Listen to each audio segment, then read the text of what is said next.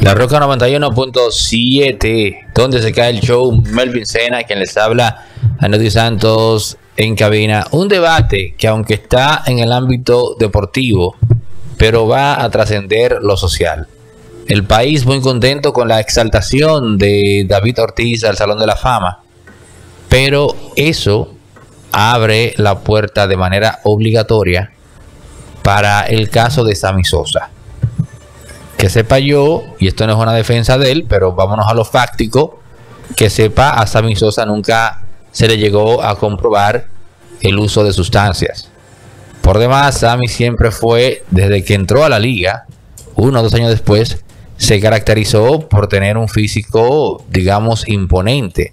Mucho antes eh, de que Barry Bonds tuviese su destape. Maguire, en efecto, al segundo o tercer año ya tenía el físico que todos conocemos, aunque hay que decir que a partir del año 1997 su volumen creció también. Entonces, está el caso de Roger Clemens. Pero Sammy en particular es interesante para nosotros porque los números de Sammy Sosa son, digamos, eh, son más por la milla, más honrones que David Ortiz, más carreras anotadas que David Ortiz, más bases robadas que David Ortiz. ¿Qué más se me queda? La defensa mucho mejor también. Bueno, sí, buen punto ese. ¿Y qué más tenía? hablé de los honrones, más que David Ortiz. 30, mucho más. Entonces, veces. Sí, y el tema aquel de que durante tres temporadas consecutivas conectó más de 60 cuadrangulares, que creo que es el único que ha hecho eso. Entonces, los números de Sammy Sosa son superiores a los de David Ortiz y porque así como nosotros, eh, digamos, eh, defendimos el caso de David Ortiz para que entrara al Salón de la Fama, si es por un asunto de cifras, hay que hacer lo mismo con Sammy Sosa. Yo entiendo que si vamos a premiar el deporte, el deporte, no se puede ser mezquino al, al tratar de ignorar el desempeño que tuvo Sammy Sosa en su carrera.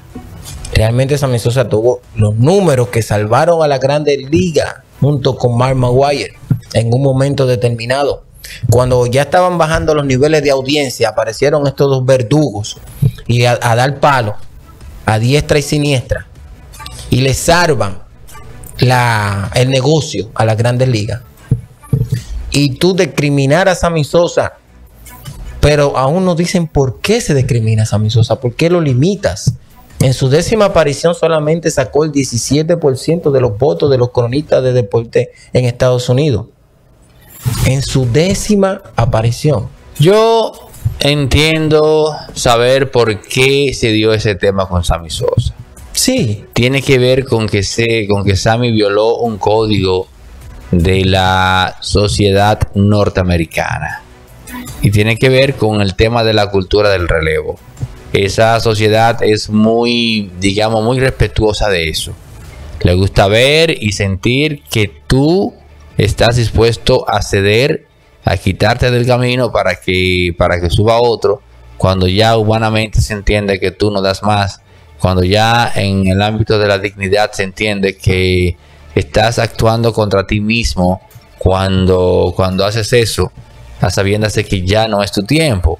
Yo recuerdo el caso de Greg Mados, que los últimos tres años fueron años muy difíciles para él, y ni que hablar de unos números que no representaban la grandeza que él tuvo. No, pero Sammy, o más bien Greg Maddox, a diferencia de Sammy, era una persona totalmente, totalmente, digamos, eh, fuera de, o sea, no era una persona que, que respetase eso. O sea, Greg Maddox eh, respetó, reconoció que ya su tiempo había pasado y un buen dominicano se guardó. No ocurrió lo mismo con Sammy Sosa y eso socialmente cayó mal. La gente lo veía como el hombre que está neciando, que está en el medio cuando ya no tiene que estar, cuando ya lo que tiene que hacer es ceder para dar su espacio, ¿no? Ceder para que venga otro. Eso es la cultura del relevo, que de hecho Vince McMahon en la WWE ha trabajado varias narrativas, se ha aprovechado de ellas con ese mismo concepto. Me refiero a la generación que, que sustituyó a Hulk Hogan, a Macho Man, al Guerrero. Estoy hablando de, de Stone Cold Steve Austin, Sí. de Dwayne, John Rock, eh, Dwayne The Rock Johnson. Elementos que fueron. Bueno, no, no, Shawn Michael viene. Es interesante porque Shawn Michael es como una especie de. Él estaba en la época de Bret the Hitman Hart y Hulk Hogan, pero se quedó en la otra época también. No, en la que siguió después se quedó y, se- y- y era una figura Michael importante. fue la estrella después de lo que pasó en Montreal con Break the Heart. Cuando lo que pasa en Montreal, la traición de Montreal, eh, Shawn Michael viene siendo la estrella después de, de, la, eh, de la WWF en aquel entonces por la supuesta traición que le hizo, aunque yo creo que eso también fue un libreto. Pero tú dices un libreto eh, La traición la- de Montreal, con la con el consentimiento de Hitman Hart. de- yo entiendo que sí. ¿Por qué? Vamos a ver, dime. económicamente era viable, él era libre, iba a tener la cantidad de dinero acumulada para poder hacer, para poder ceder a hacer eso y también la millonada que le, para- que le esperaba en WCW. Pero ¿qué ganaba Vince McMahon con eso? ¿Qué ganaba Vince con Él, eso? eh, como él sabía que no podía retener a Bret the Hitman Hart, podía potencializar la figura de Shawn Michaels.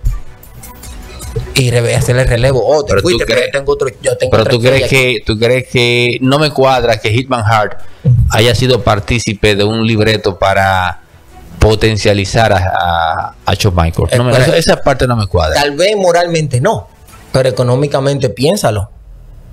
Piénsalo económicamente. ¿Cuánto tú de, cuánto tienes que poner sobre la mesa para tú eh, tener que ceder a un tipo de acción de esta naturaleza?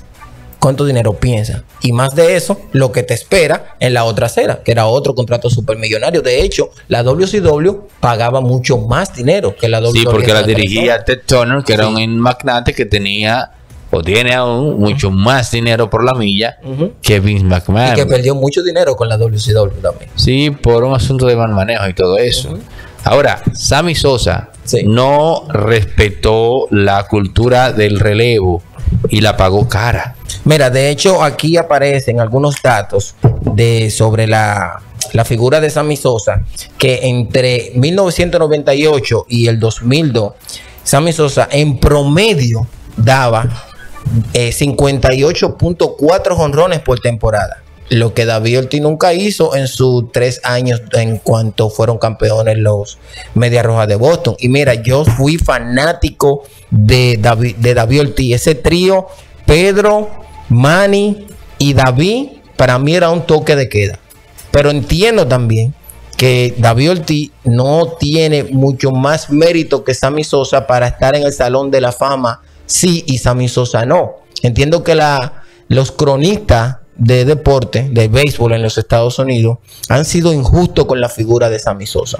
Todavía tenemos tiempo, mm, creo que todavía no se no se le han terminado los chances para poder entrar al Salón de la Fama, pero entiendo que es lo preciso tratar de, de ver qué realmente es lo que pasa con Sammy Sosa para Ahora, que ¿sabes que a mí, a mí como que no me cuadra?